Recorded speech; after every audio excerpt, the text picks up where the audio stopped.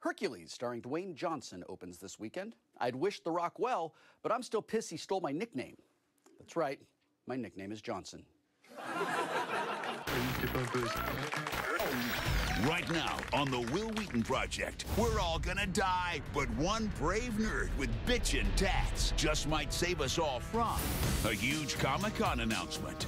The Walking Dead Sonequa Martin Green and Kevin Smith. Right on. Well, I'm just gonna go kill myself now. And now, the guy who knows his way around a Big Bang Theory, Wil Wheaton. Thank you very much. Thank you. Hey, nerds and nerd adjacent normals. Welcome to the Wil Wheaton Project, where we cover the week in sci fi, horror, and fantasy, or as it is more commonly known, sci horfa. Face Off returned to sci fi this week, and this season, the eliminations have gotten pretty intense.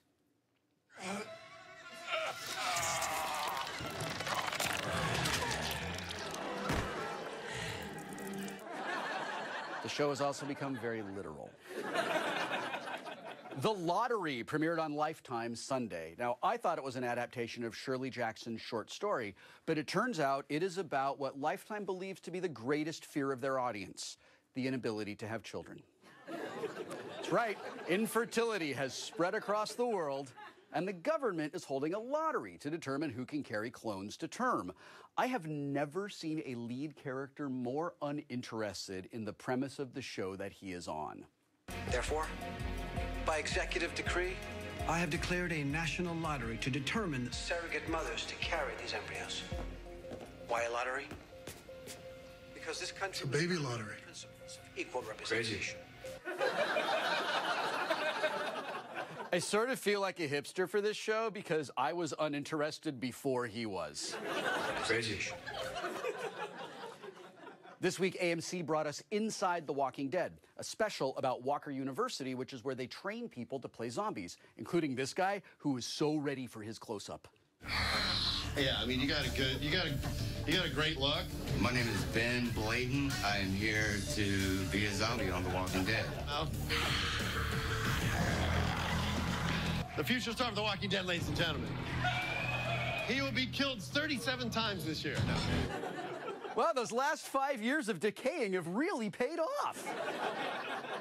and listen, if The Walking Dead doesn't work out for this guy, there's always Bill the Cat.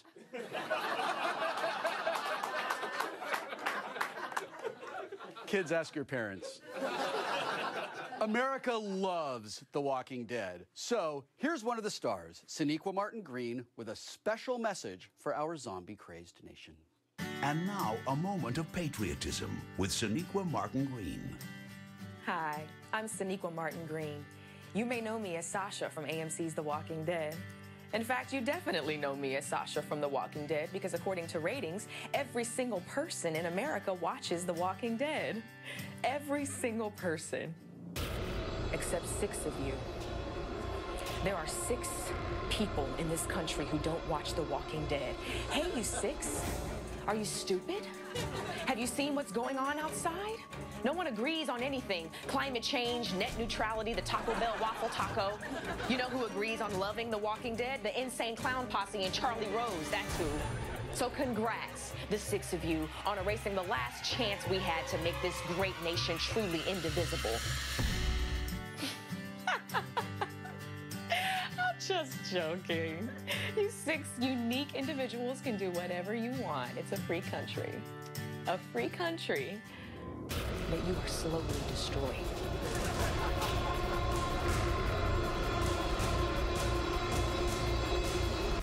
That was a moment of patriotism with Sonequa Martin Green. You heard the woman. I want you to go buy a goddamn waffle taco. Universal released the trailer for Ouija this week. The movie is based on the Milton Bradley toy that entertained us all at sleepovers for literally minutes of our childhood. You're probably thinking that Hollywood has finally scraped the bottom of the nostalgia barrel. You are wrong. In a world where all of your favorite childhood things are being turned into movies like Ouija, Transformers, G.I. Joe, Teenage Mutant Ninja Turtles, The Smurfs, Battleship, and the Lego movie comes Literally everything else from your childhood, the movie. Starring Alf, dinosaur-shaped chicken nuggets, street sharks, the bedazzler, Tamagotchi, beanbag chair, donkey lips from Salute Your Shorts, cassette tapes, seaweeds, hair crimpers, trapper keepers, light bright, worm thing filled with water that slipped through your hands, Lisa Frank stickers, Wil Wheaton, Furby, Teddy Ruxpin, gym mats, Ric Flair, creepy crawlers, pens with six different colors, Magic 8 Ball, OG Readmore, Weebles, Bop It, Lunchables, the RF Switchbox, and Floam. But we didn't stop at things. We got the rights to abstract childhood concepts like chicken pox, blowing into a game cartridge, and hiding your boner in class. The New York Times says, holy shit, gym mats, I totally remember those. And the Chicago Tribune says, I'm still hiding my boner. Literally everything else from your childhood, the movie. Give us money. I have one thing to say about that gross display of pandering. Where's the beef? we'll be right back. Still to come, ready for a huge Comic-Con announcement? Wil's got one, and Skeletor's back, and angrier than ever. When the Wil Wheaton Project continues.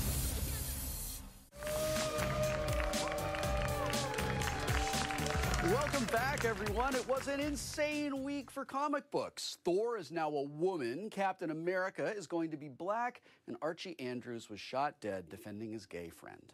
While Archie's death is tragic, the show must go on. So let's check in on the Archie series without the show's title character. Everything's Archie. Come on, let's go with the Archie Show.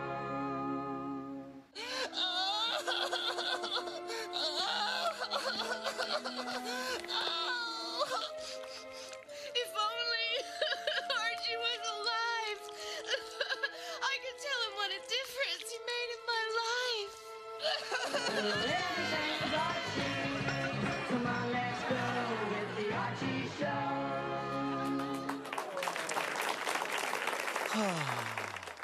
This was really divisive in the writer's room this week as we found out who was on Team Betty and who was on Team Veronica. Archie's funeral included a tasteful performance by Josie and the Pussycats.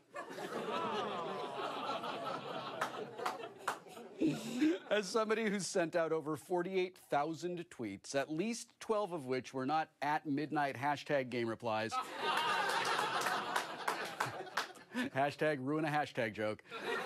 I'm well aware that there's a lot of anger on Twitter. Now, some of these tweets are so over the top that I just had to bring them to a wider audience. But to be honest, I don't think that I have the proper amount of rage to do them justice. So recently, I had the universe's foremost authority on rage, Skeletor, read us some of the internet's angriest tweets. We loved him so much, we brought him back. Oh, Skeletor! I hate He-Man! I guess I set myself up for that. Did you bring us any good tweets this week? No, I came to hear more of your insights on the Ouija movie. Of course I have tweets. First tweet, at Dapierco tweets. Okay, we've got a female Thor and a black Captain America, but where the is the Dominican Iron Man? if you're referring to Iron Man well, last I heard he was being scouted by the Oakland A's. They say he's got a rocket arm. Hashtag sports. It is the last season of True Blood Skeletor. Emotions are high. How are the fans taking it? At Alex underscore Thomas 91 tweets, I'm pissed. My favorite character just died on True Blood. What the Weird that there's so much death on a vampire show. Hashtag watch my little pony. Hashtag Team Fluttershy. Team Twilight Sparkle. This week on Dominion, Claire found out who her mom was. Any standout reactions to the big reveal? At Tootie Tweets Tweets, Eight Ball is Claire's mom, and that was the end of the episode. Hashtag Dominion. First things first. Can I use your. to reopen this sealed envelope? Get wrinkles out of my suit? Hashtag a million uses.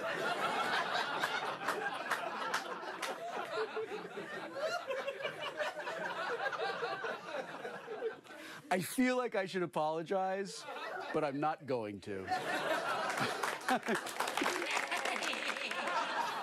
Teen Wolf fans are pretty passionate online. Uh, what are they saying about season four? That's gonna be all right, Tweets. No, no, no estoy llorando, no puede pasar esto, Teen Wolf. Y la re- díganme que es. Uh, Skeletor, my Spanish is a little rusty. What does that mean? You and your show, Wheaton. I hope you die. That, that's really what that translates into? Who said I was translating? Skeletor, everybody! Later, Wheatins. I'm off like a progress.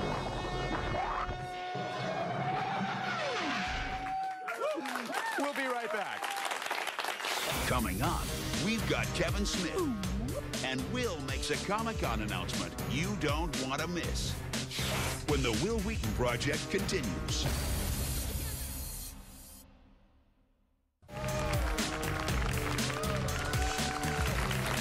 Welcome back. So, former Panamanian dictator Manuel Noriega is suing the makers of the video game Call of Duty Black Ops 2 for allegedly featuring his image without his consent. This comes on the heels of Lindsay Lohan suing Rockstar Games for allegedly using her likeness in Grand Theft Auto 5. Well, it seems the floodgates are open, and now the makers of Pong are being sued by this gentleman. Wow, he looks really mad. you know, it's not every day that one of Hollywood's biggest directors offers to give our viewers some professional filmmaking advice. But lucky for us, today is one of those days when it does. Ladies and gentlemen, Professor Kevin Smith. And now, Kevin Smith's guide to making the perfect reaction video. Hello, I'm professional fanboy, internet loudmouth, and flight challenged filmmaker Kevin Smith. And I'm here today to talk to you about something that's very near and dear to my heart. No, I'm not talking about fried chicken and whipped cream, man. I'm talking about opinions, damn it. We're living in a golden age of opinions and commentary thanks to the internet. And Shitty acting. Oh, he's not that bad. Yes, he is. You're bad. What were they thinking? Oh my god. Stop it up. That movie blew ass. the most juice. But sadly, some of the most important commentary this generation has to offer us is being absolutely ignored, just like every movie I've ever made, for the same reason shit poor production values. And Ari was right there too. Yeah, she was about to meet up with. Oh. Ugh, absolutely horrible. Jersey girl bad, as we say around here, man. So I put together a few tips to make your rants and your reviews and your rave videos a little more watchable, man. A little more Damon, less Affleck. Let's check it out. Tip one. Lights, kids. Any lights will do, man, except the lights you use to find your car keys. If you plan on going to see Godzilla, don't go see it. You're gonna waste your money. I promised I wasn't gonna get mad, but goddamn, I'm just so disappointed, man. The previews look great. And the movie sucked! I agree with this guy. Godzilla was a huge piece of shit, man, but that's not what's interesting about this review. What's interesting is that he's sitting in a car in the middle of the night talking about Godzilla, not masturbating. Tip two rehearsal, man. Always try it before you buy it. Rehearse all you want. Just don't leave it in the clip and make me watch it. Hi, everybody. It's me, Sailor Moon. In it. Hi, everyone. Sailor Moon and Sailor Mercury. I mean, Sailor Jupiter. What? I'm starting to suspect this guy is not a long term Sailor Moon aficionado like myself. And if he doesn't stop it with this poserism, in the name of the moon, I will punish him. this is tip three. If you are going to do Game of Thrones reaction videos, make sure you say something. Don't just reach your hand in your pants and go find the King of the North. Oh, this really like. You see the remote sitting right next to him? I do not want to be the next person that picks that up. I won't be able to put it down. The ever exciting tip four just be yourself, okay? And if you can't be yourself, well, try being me. Hi, I'm Kevin Smith. Why can't I be as thin as me? He's not me. Tip five. But at the end of the day, all that really matters, kids, is that you have an opinion and that you believe in that opinion, okay? And if you believe in your opinions, I will support anything you ever say on the internet. Tell me what you think about the Xbox One. No one cares about the Kinect. You can connect my dick to your mouth, and then to mm, mm, mm. Can't argue with that. Thanks for watching Kevin Smith's Guide to Making the Perfect Reaction Video. You sick, sick people. Remember those tips when you post your glowing reactions to Kevin Smith's new horror film Tusk when it hits theaters September 19th. We'll be right back. It's almost impossible to stay ahead of your family's dirty laundry. Hi, I'm Sonequa Martin Green, and I don't always look like this. I play Sasha on The Walking Dead. And my dirty laundry makes the ketchup on your white shirt look like amateur hour. I need a stronger laundry detergent that cuts through dirt, blood, and pieces of dead friends. That's why I use Gets Dead Off. Gets Dead Off has 1,100 times the stain fighting power of other laundry detergents. The ingredients in Gets Dead Off start to work immediately. Gets Dead Off fights until every last stain is gone. It can do that because it's not free of dyes and perfumes. In fact, it has all the dyes and perfumes. Don't let pesky stains send you to an early grave. Tell those pesky stains to off with Gets Dead Off. Act now, and Gets Dead Off will bring back one of your dead relatives free.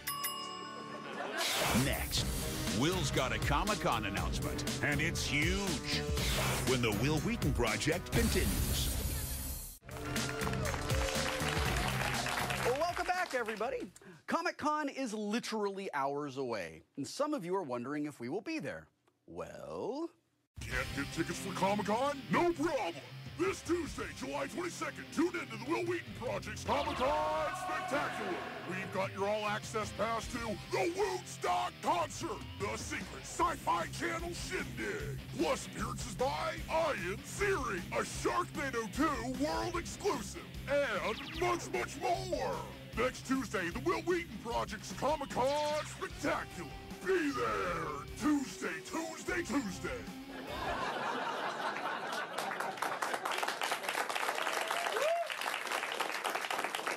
in other words, yes. Everybody, it's time for shout outs. Shout out to this young man for failing to grasp the theory of displacement.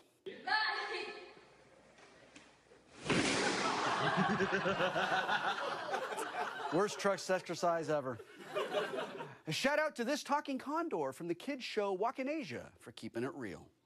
And here's a bag of sugar for you, Flying Thunder. I hope you can find something to use it with. Kimamila, I don't use a whole lot of sugar these days. I'm sweet enough as I am. Just kidding. I use very little sugar because I don't want to get diabetes. Featuring Fran Drescher as the laugh. On the next walk in Asia, Conrad the tortoise deals with gout. Shout out to these kids meeting the Incredibles Elastigirl for the first time. Make some noise for the one and only Elastigirl! Let's hear it for her, everybody! Girl We're really going in some weird directions this year on Face Off.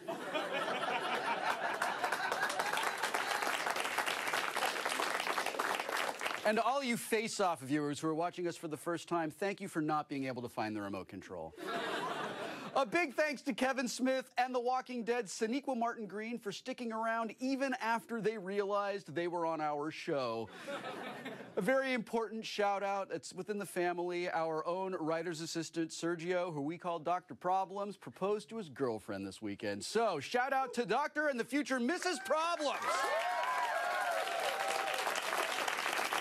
Finally, it was announced that Ghostbusters will be re released in theaters this fall to celebrate the film's 30th anniversary. Now, as far as Ghostbuster 3 rumors go, Dan Aykroyd was tight lipped. But if his body of work tells us anything, Aykroyd will be eating in the film. Which, believe it or not, leads us to this week's Supercut. Till next time, play more games!